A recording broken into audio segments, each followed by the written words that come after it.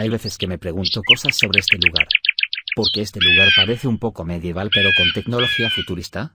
¿Será que pondré conocer a Sage en persona? O también, porque la música de este juego de Sonic es como el Metal Gear Revengeance. Muy hermosa y con perfectos vocalistas. No lo sé, quizás el que me esté mirando en este momento sepa dar alguna que otra respuesta a mis preguntas.